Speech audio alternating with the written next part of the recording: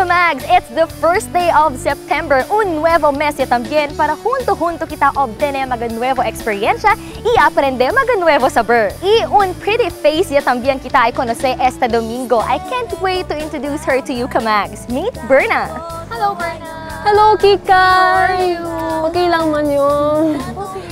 Hello mga kamags! Iyo si Berna, third year student ngayon, the BA Communication na Ateneo de Zamboanga University. Okay, so Berna, what do you want to pursue after finishing your studies? Flight attendant kay Career Gadyo Pyramid and Travel. Pwede tamen na advertising firm, baka Cheneves, pwede tamen yung as advertisement para na mag-TV. Wow, diba? Por eso, bien excited na gado ara para na este episodyo. Si Berna y siendo septiembre ya y el septiembre acá nueve mes del año, ay sabe kita acerca de este número. Kikay, el numero 9 es considerado un powerful digit. Este el highest single digit number. Have fun with us, Kamags, as we learn some fun facts acerca el Numero 9!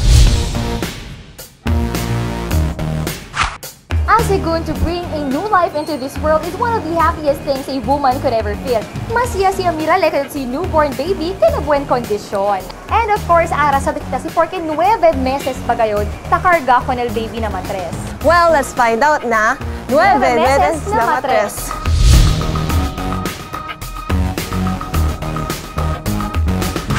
It is a condition wherein uh, the, the woman is able to reproduce. Of course, babies may be a girl or a boy.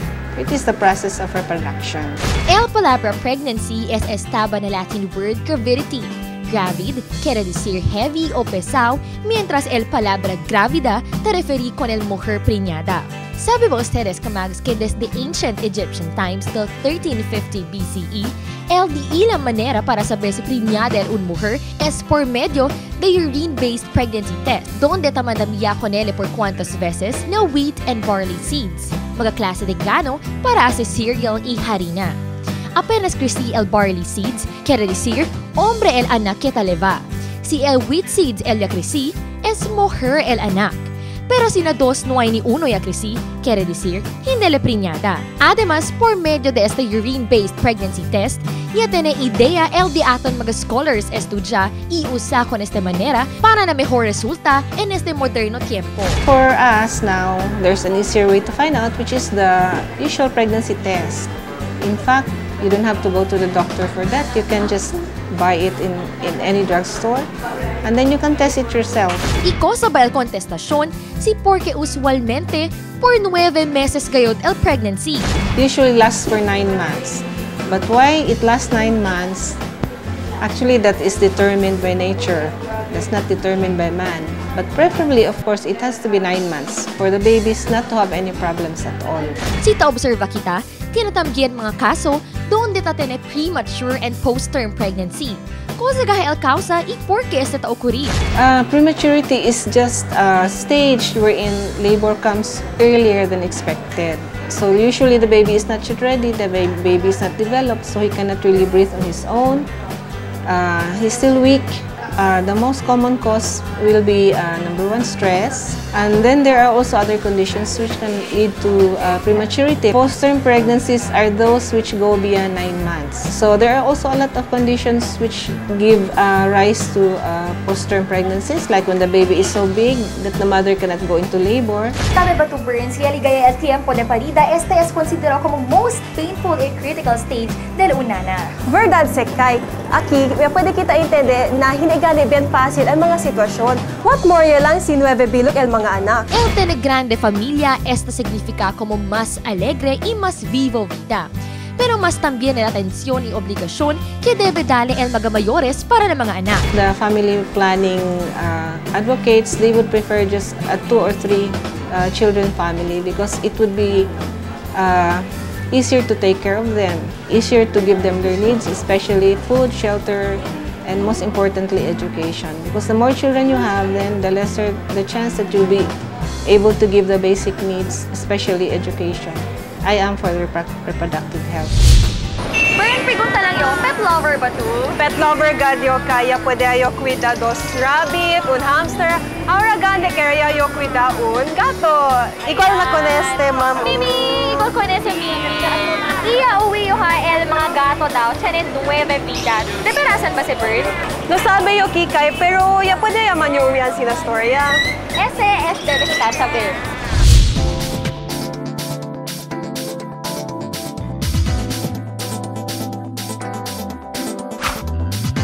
El gato es un yutay manso animal que incluido na Feridae o Cats family como el tigre, león, leopards, jaguars y otro pa. Mayoría kanatun es nakuida con este como un pet y para puhi con el magaratón na casa. Ta parece que tiene 500 million domestic cats na mundo con 33 diferente raza o klase como el Persian cat, Siamese cat, white cat y otro pa. Y ahora, ¿dónde basaya origina el cuento que el gato daw tiene nueve vidas? According pa si De Antes, mga kanunuan di aton, Pag mayroong mga kalamidad, sila ay nagbibigay ng mga sinyalis sa atin. You know, nakanoong nawala sa mga katigulangan, pero wala pa man ko'y kitag-iri nga namatay nga nimbangon pa para ma-prove niya nga tasyaw kinabuhi Este clase de historia según niya origina desde ancient times. Taabla sila que el nueve es un suerte número. Este ta significa Trinity of Trinities. Iya relata sila con este con el gato que tiene habilidad escapar na mga cuantos peligro y muerte. Sabi daw kita el propio explanasyon y el veracidad de este. Actually, yung ah, nine lives ng cats is just a figure of speech.